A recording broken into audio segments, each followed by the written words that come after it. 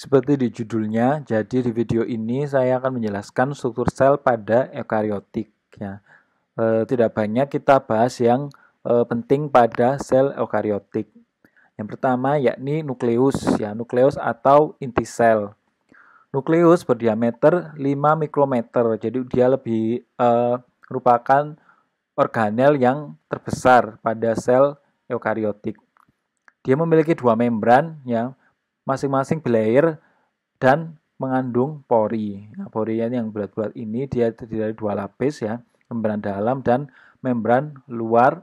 Kemudian di dalam nukleus mengandung kromatin ya, ini kromatin merupakan kompleks antara DNA dengan protein histon. Jadi dijumpai pada sel yang tidak mengalami pembelahan itu namanya kromatin. Sedangkan kalau dia mengalami pembelahan dia akan menebal, memendek, membentuk kromosom, yaitu bedanya kromatin sama kromosom. Jadi sekali lagi kalau kromatin itu kompleks antara DNA yang dengan protein histon ya. Kemudian yang dapat kita jumpai pada waktu sel tidak mengalami pembelahan. Kalau pada pembelahan namanya kromosom, menebal memendek. Kemudian ada nukleolus atau anak inti, kemudian ada protein lamina. Pada sel eukariotik, nukleus mengandung sebagian besar gen, sebagian kecil ada di mitokondria dan kloroplas. Ya, sekali lagi, gennya itu pada uh, eukariotik itu kalau pada hewan itu terdapat pada mitokondria selain di nukleus, sedangkan kalau gen itu selain terdapat di nukleus juga terdapat di kloroplas. Ya, itu perlu digarisbawahi, perlu kalian ingat juga. Kemudian uh, kita bahas satu-satu bagian dari anak in, uh, nukleus ya atau anta ini benar. Nuclear envelope atau membran inti terdiri dari membran dalam dan membran luar. Jarak antara membran dalam sama membran luar ini sekitar 10 sampai 50 nanometer. Fungsinya membatasi materi genetik dengan sitoplasma. Nuklear pore ya yang tadi e, bulat-bulatnya memiliki diameter 100 nanometer. Bulatannya itu diameternya 100 nanometer dengan 50 sampai 100 protein. Fungsinya tempat pintu keluar masuknya molekul dari nukleoplasma ke sitoplasma atau sebaliknya. Jadi dari nukleoplasma cairan di dalam inti sama cairan di e, luar inti sitoplasma ataupun sebaliknya. Jadi biar bisa keluar masuk kan. Nuklear lamina dibentuk oleh protein lamina yang disintesis dari sitoplasma dan dibawa ke dalam nukleus. Fungsinya tempat melekatnya kromosom dan nuklear envelope, nuclear pore. Jadi ini ya gambarnya. Di sini ada membran luar, membran dalam ya ini membran luar, ini membran dalam ya jaraknya sekitar 10 sampai 50 nanometer ya. Kemudian ini ada protein lamina ya bentuknya seperti jaring-jaring. Jadi dia fungsinya untuk menempelkan pori. Ini tadi dikatakan kalau pori itu terdiri dari 50 sampai 100 protein yang kemudian dia ada kromatin. Jadi kromatin ini tempat menempelnya kromatin sama pori. Fungsi dari protein lamina. Ya. Jadi keluar masuknya materi genetik ini dari pori sini. Kemudian ada namanya anak inti atau nukleolus ya terbentuk dari perulangan rDNA yaitu DNA yang mengkode rRNA ribosomal RNA area yang kita sebut sebagai NOR nucleolar organizer region. Fungsinya mensintesis rRNA dan pembentukan ribosom. Nukleolus ini merupakan pusat kendali sel. Kromatin merupakan struktur terdiri dari DNA yang diorganisasikan bersama protein. Protein namanya tadi histon.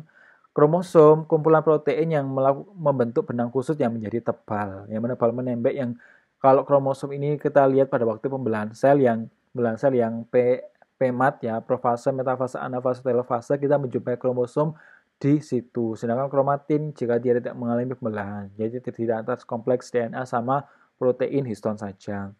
Kemudian jadi dikatakan kalau nukleus tadi membran ganda, jadi selain membran ganda pada hewan itu membran ganda juga ditemukan pada mitokondria. Jadi dia terdiri dari membran luar, kemudian ini juga membran dalam. Membran dalam ini eh, panjangnya lebih panjang dibandingkan sama membran luar ya. Jadi bisa dibayangkan ini membran luarnya ini berliku-liku karena dia lebih panjang dibandingkan sama membran luarnya. Ini membran dalam. Jadi dia Dikatakan selain nukleus yang memiliki gen, mitokondria juga memiliki gen. Di sini ada DNA. Kemudian ini juga ada ribosom untuk sintesis protein ya. Identik kalau ada DNA juga pasti ada ribosom. Kemudian ada matrik, membran luar, membran dalam. Kemudian ada kriste, kriste itu lekukan ya, lekukan di sini di bagian membran dalam. Ini namanya kriste, ini namanya kriste ya. Kemudian ada intermembran space. Secara umum ini untuk respirasi aerob. Jadi pada manusia, pada hewan ada mitokondria. Eh maaf pada hewan. Kemudian panjangnya kalau pada manusia juga ada mitokondria itu pada uh, sperma ya. Sperma manusia itu ada mitokondria. Di sperma kan bergerak, itu dia menggunakan mitokondria pergerakannya untuk respirasi. Panjangnya 1 sampai 10 mikrometer dan merupakan membran gana, bersifat autonom. Jadi dia dapat melakukan sintesis sendiri karena dia kan ada DNA tadi ada situs ada ribosom juga untuk sintesis protein. Kemudian ada krista, lakukan pada membran dalam berfungsi untuk memperluas permukaan. Jadi fungsinya untuk uh, eh, ATP lebih banyak. Respirasi kan fungsinya untuk membentuk ATP, ATP-nya menjadi lebih banyak. Matriks merupakan cairan yang mengandung enzim, ribosom, dan DNA untuk respirasi seluler. Kemudian membran ganda yang ditemukan pada tumbuhan selain pada nukleus, yakni pada plastida. Jadi dia ada membran luar, kemudian ada membran dalam. Kemudian ada ini ada stroma, kemudian ada tilakoid, kemudian ada granum, ya membran dalam membran luar. Hanya terdapat pada tumbuhan, terdiri dari membran ganda dan membran tilakoid. Bagian dalam itu merupakan stroma yang mengandung DNA, RNA, ribosom, dan enzim. Diklasifikasikan berdasarkan membran tilakoidnya ada kloroplas, mengandung klorofin, kromoplas, karotenoid, dan leukopas tidak mengandung pigmen. Kemudian ada retikulum endoplasma, ya. Retikulum endoplasma ini ada yang endoplasma halus sama kasar. Halus dan kasar ini bedakan berdasarkan e, ribosom. Jadi kalau kasar ini dia ditempeli oleh ribosom sedangkan retikulum endoplasma halus dia tidak ditempeli oleh ribosom jadi ini fungsinya untuk e, sintesis protein ya. Kasar itu melakukan glikosisasi penambah glukosamin dan manosa pada protein. Jadi protein yang yang didapat dari sini e, nukleus dia akan dibungkus ya. Kalau dia protein dia dibungkus ditambahkan glukosamin atau manosa di sini. Kalau untuk lipid ini dibungkus oleh retikulum endoplasma halus. Di sini dia membungkus ya melapisi e, lipid sama protein tersebut dari RK tadi retikulum endoplasma halus, eh, kasar dan retikulum endoplasma halus. RE kasar melakukan glikosalisasi saya katakan dia menambahkan glukosamin dan manosa pada protein dan penambahan disulfida pada polipeptida.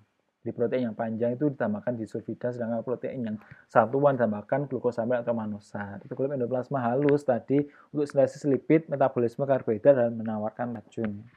Kemudian uh, organel lain yang terdapat pada eukariot yakni aparatus Golgi atau badan Golgi. Ya, di sini bentuknya ada yang bagian cis ya.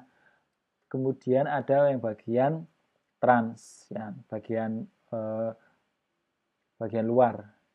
Bagian dalam ini yang cis, cis ini bagian yang uh, letaknya itu dekat dengan retikulum endoplasma. Jadi ada nukleus ya sebelahnya nukleus ada retikulum endoplasma sebagian eh, yang dekat dengan retikulum plasma ada namanya aparatus Golgi, namanya cheese face. Ya.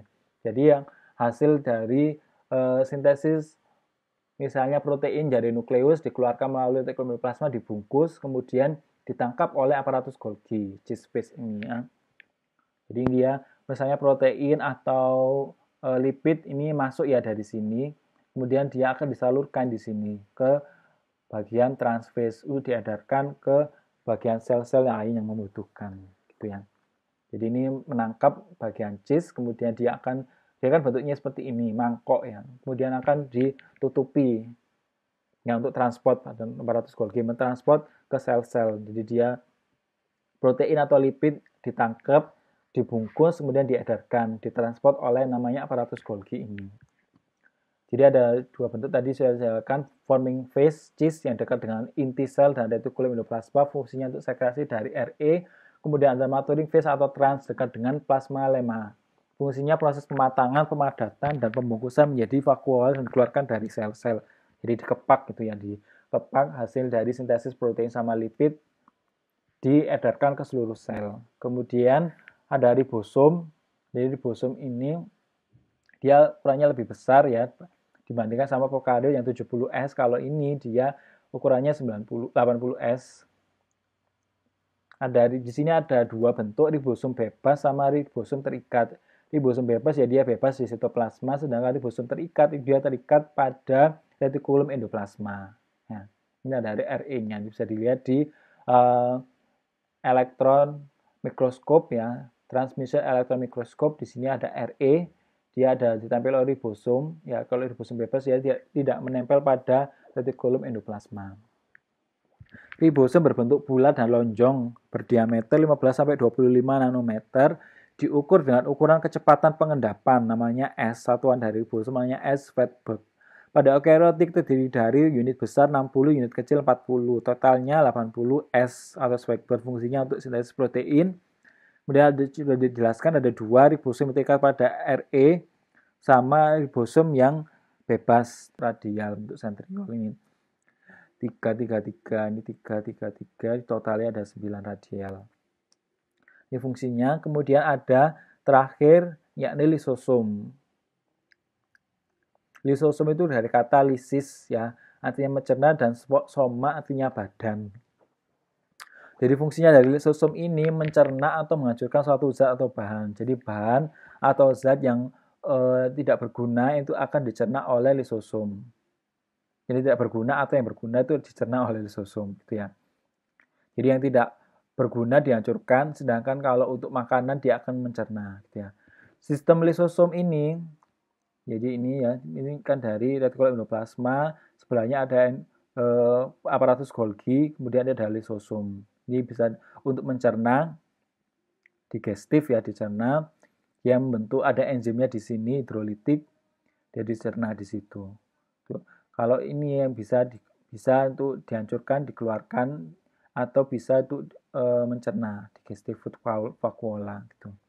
Ada tiga bentuk komponen yakni fagosom, lisosom sama paskalisosom. Fagosom terdiri dari heterofagosom dan autofagosom, sedangkan kalau lisosom itu lisosom primer dan sekunder dan yang terakhir ini paskalisosom. Fagosom merupakan badan yang berfungsi untuk memakan ya Kemudian ada dua tadi jelaskan ada heterofagosum sama autofagosum. Heterofagosum itu bahan berasal dari luar. Jadi kalau bahannya berasal dari luar sel itu namanya heterofagosum. Kemudian kalau eh, bahannya berasal dari sel itu sendiri nama autofagosum. Jadi dia mencerna bagian dari dirinya sendiri. Itu ya.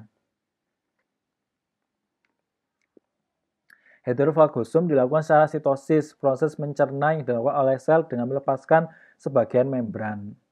Dapat secara endositosis dan eksositosis. Jika bahan yang dicerna besar atau padat membentuk fagositosis, sebaliknya jika bahan atau ke kecil atau cair membentuk pinositosis. Kemudian autofagosum tidak melibatkan membran, yakni dengan membran RE halus dan dilepas menjadi vakuola. Ini ya bedanya heterofagosum sama autofagosum. Di heterofagosum dia melibatkan membran, kalau autogosum dia tidak melibatkan membran. Jadi melibatkan membran RE halus saja yang dilepas kemudian dicerna. Kalau heterofagosum dia melibatkan membran plasma. Ya, kalau padat membentuk besar fagositosis, vakuola makanan, sedangkan kalau bahannya kecil atau cair itu membentuk pinositosis yang kecil. Pino kan artinya kecil. Di sini ada eksositosis sama endositosis. Eksositosis itu jika bahannya itu berasal dari dalam sel itu sendiri ya, dikeluarkan di sini. Jadi eh, bahannya tidak berguna itu akan membentuk vakuola di sini, kemudian mendekati membran, dikeluarkan keluar sel.